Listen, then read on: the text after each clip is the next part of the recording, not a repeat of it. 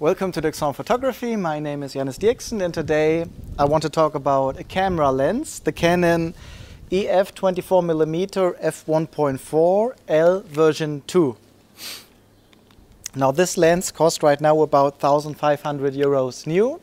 I bought this second hand for 650 euros, which is a really nice price and I find it really interesting that you can buy a lens used and if you like, sell it after a week, a month or a year for nearly the same price. So it actually doesn't cost much if you have it in a great condition to sell it afterwards. So I got this one new, the 24 millimeter f1.4, and I took some pictures here in Spain and some pictures in Germany. And I thought it's time to just talk a little bit about my experience with this lens. And I want to start with why I bought this lens. Now I have the Sigma 35 millimeter 1.4, which is also a wide angle lens. I have the Tamron 24 to 70 millimeter f2.8 IS lens, the 50 millimeter 1.8 and the 135 millimeter lens. So there are a couple of lenses I already have and a 70 to 200 millimeter lens. And there are different areas of photography that I do. There is the, I call it the extraordinary street photography where I talk to people on the streets and photograph them right where I am. And for this kind of work, all I need is a full frame camera and a 50 millimeter lens. And I have the 50 millimeter 1.8 lens, which is super fine. It, it's really lightweight, and that's all I need when I'm six, seven, eight hours on the streets uh, nearly every day. I also do architecture photography for banks and for real estate agencies in my in the town I live and around it. And I use the 2470 for that often and and 10 to 80 millimeter lens on the APS-C camera. And I'm going to use this lens as well. Now, the main reason I bought this lens is on wedding days, I have four lenses with me on two cameras. The Canon 135 millimeter lens, which is great, the 50 millimeter lens, which is great, and the Sigma 35 millimeter lens, and the Tamron 2470 millimeter lens. So these two I want to get rid of and choose this one instead. So bye-bye to the Sigma 35 and bye-bye to the Tamron 2470 and keep this instead. So I only have three lenses. Uh, they are all from Canon. They are all they all work great with the autofocus, which is important to me, which is not so with the Tamron and the Sigma lenses. In my experience, they don't work so well with the autofocus. Uh, often it's not on point with the ones I have. I know other people have great experiences, uh, but I chose the 24 from Canon instead of Sigma, and I think I did a, it was a great decision. Okay, so the reason to buy this lens is to get rid of two other lenses, 24 to 70 2.8 and the Sigma 35 1.4. That's the reason why I bought this lens, to have three lenses on wedding days instead of four. And now what I find is whenever I buy a new lens, especially if it's a fixed focal length, I have to learn photography new. What does that mean? Every lens to me has a certain sweet spot in terms of there is a distance in which each lens works great. There is an angle in which each lens works great. And you cannot always do the same with another lens. So for example, what's great with this lens, what I cannot do with the 50 millimeter lens or 135 millimeter lens, with this lens, what's great is to take selfies. Now I don't really mean selfies of myself, although this works as well really nice, or with a girlfriend, it's really nice, but I use it on wedding days and with couple shoots. So I got the couple here together, I ask her or him, uh, hold up your hand, she's holding up her hand and I put the camera like this and shoot, blah, blah, blah, blah. And there are always some nice selfie looking images, which I cannot do with the 50 millimeter, but which I can do greatly with the 24 millimeter. So each lens has certain images I can take with them, which I cannot take with other lenses. And so I really like some of the ideas that I can realize with this lens. Now, where are the weaknesses? One weakness that I experience uh, right away. I like to shoot wide open. And when you put this lens on f1.4, the vignette is very strong, which means that if I shoot into the sky right now, into the blue sky, and I shoot at f1.4, the corners will be dark, very dark, pretty much uh, too dark for a lens that cost 1,500 euros. So now if you take pictures and edit images, you can render out these corners. In your editing program, you can say, put the vignette away, and it's gone. That is very easy, it's just one click. When you shoot video, you cannot get rid with you cannot get rid of these corners, these black corners, if you want to shoot wide open. You have them with the lens. So for, for, for the photography purpose, it's fine because you can render it out later. For the video videographer, I think it's not so nice because the vignette is very strong. Um, now what's also, there's a compromise, I believe. So I like blurry backgrounds. When the background is not clear and in focus, when the background is blurred out and you only see the person, not the background. And I can do this very nicely with the 50 millimeter lens, with the 100, 135, 85. With the 24 millimeter lens, there is a distance in which I get a blur blurry background. So I show you some images I took of Anna, where you see her head and her half body and you see a blurred out background. I'm shooting at f1.4 and I like the look. Now when I go a little bit further away and I'm still shooting at f1.4, nearly everything is in focus. So you will lose the effect very quickly if you go a little bit further away and still want a blurry background. It's very hard to get, even at shooting at f1.4. So if you want a blurry background, there is a sweet spot, and I say compromise or contrast because the closer you get, the more distortion you will also have in the frame. It's a wide angle lens, so when I take a picture like this, my nose will be very big and it's not in the right proportion. It's not necessarily good looking because a wide angle lens will, and you put something close to it, my nose will be very big. So this is what I say, I like the blurry background, but I don't, don't want the big nose. So I have to get close to get the blurry background, but I cannot get too close because then the image will, will be affected at, with, the, with the proportions. And so I have to get to use I have to get used to this and I just bought this lens one or two weeks ago but I think it's time to give you some images. And I'm here now in Spain and I'm shooting nearly all the time right now with the 5D Mark I from 2005. I bought this camera for four, 350, 400 euros. I've seen this now on eBay for 250 right away. And I will show you the images straight from the camera. Uh, I got some really nice images with this camera and lens combination. I have different cameras. The Canon 6D is filming right now. It's a newer camera, but I like to use cheap equipment. Uh, this is a cheap camera, but it's a great it's a great camera. It was 3,000 euros, and now it's under 300 euros because it's 12 years old, but it still works great. We will look at some images straight on the uh, screen that may be on my phone because it's faster to skip through and maybe in, enlarged and I will talk a little bit about it. So in the end, I, I am really happy that I bought the lens used. It's new, 1,500 euros. I paid used 650 euros.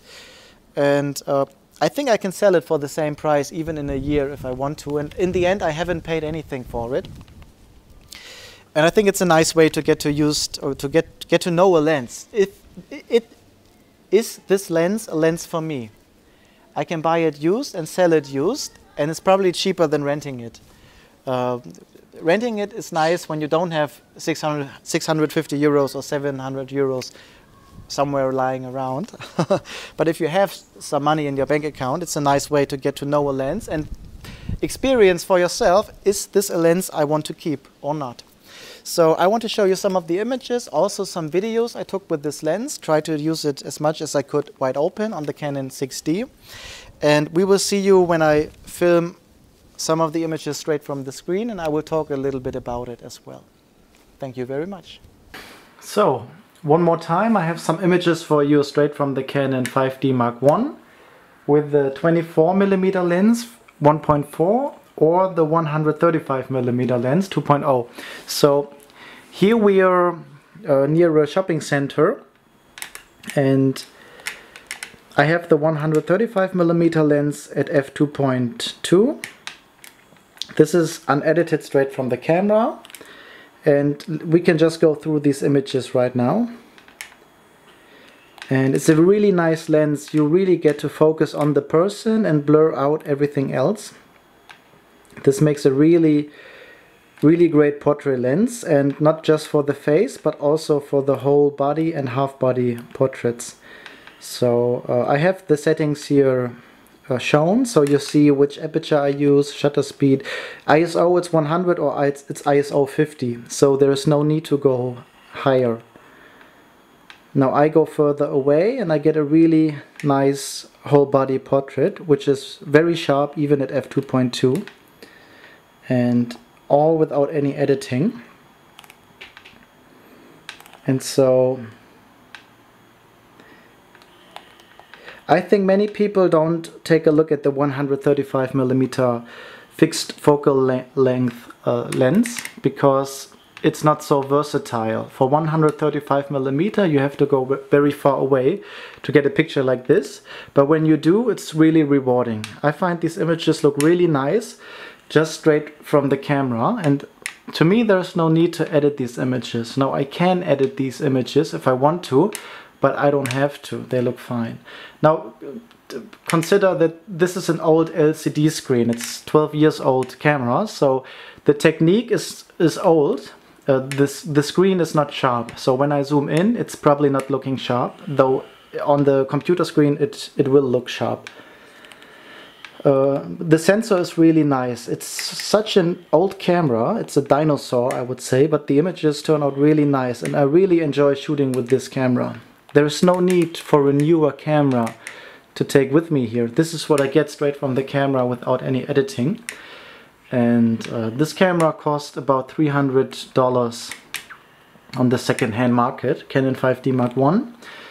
And many people, I think, are looking for a newer camera, a better camera with higher stuff, better frame rate, better megapixel, this and that. And uh, I don't know if you really need that. Now this is what you can get out of a really old camera that is very cheap. Of course I used uh, two great lenses here, but you can use a cheap lens as well. If it's a fixed focal length, a 51.8 does, does fine. You would get similar results with the 51.8 and you will find many videos on my channel where I used the 100 euro lens and you will get you will see the the results.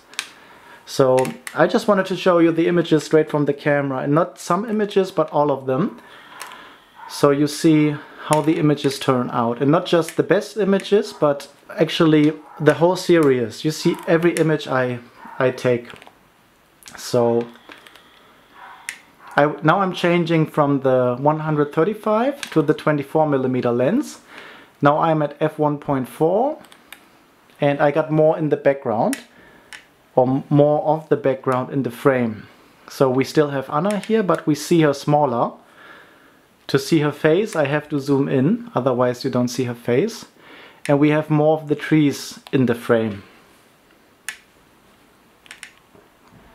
And I think it's a nice combination, 135 and the 24. You have now these trees here, you see much more of the scenery, but now Anna is very small and you don't see much of her. So I, when I zoom in, you see her, but like this, you don't see much, especially on the on this small screen here.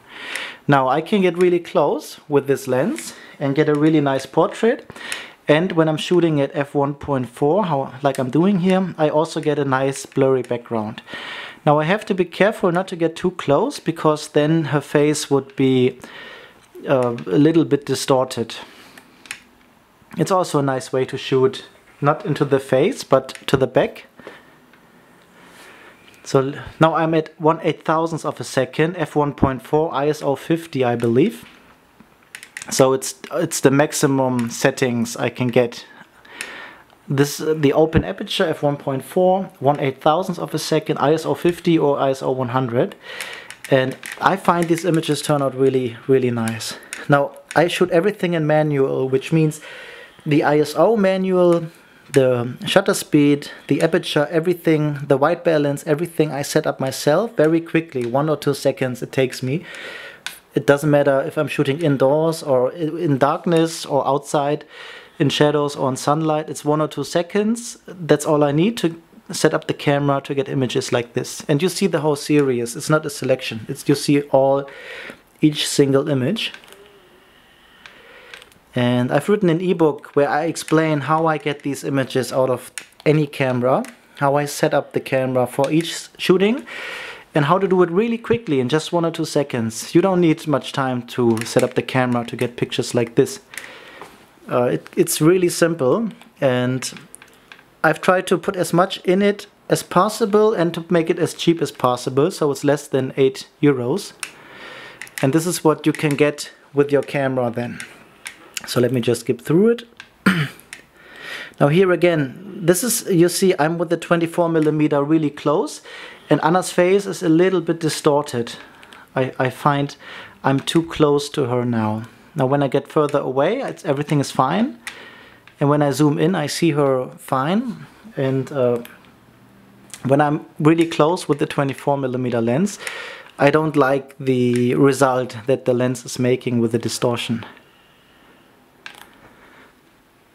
Now these these images are fine. It's the 24 millimeter lens, and now I'm switching to the 135. This is the 135. I go. I'm really further away, and I have much more intimacy in the picture. It's a really flattering image. There is no reflector used or flash or whatsoever. It's just all natural light, how I usually always do it. And you can get really nice portraits with that lens you need a distance between you and the model but the results are really nice. So let's just go through it. You see the the camera is not so fast. When I'm going from one image to the next it's it's not going so fast. But I want to show you the images straight in the camera and I show you all the images not just some. So you see how a normal shooting uh, looks like. This is in the factory still near the shopping center and then we took some more images outside of the building. And I think they also turned out really nice. So here you see the great landscape behind her. Still with the 135 millimeter lens at maybe f2.0 and it's really I, I really like these images. And I will always edit these all images but I don't have to I, I really like these images straight from the camera. There is no need to edit. I will edit, but I don't, I don't have to. Okay, so I think you got an idea of how images can look like straight from the camera. W doesn't really matter which camera it is. This is a very old camera. And when you know how what to do, uh, you will get these images like this with the colors and the look out of any camera. It doesn't really matter if it's a new or old camera. Uh, people say newer cameras give you better color. I don't think that's true. Uh, and you see it here. I think these are really nice colors straight from the camera. And so, yeah, that's it.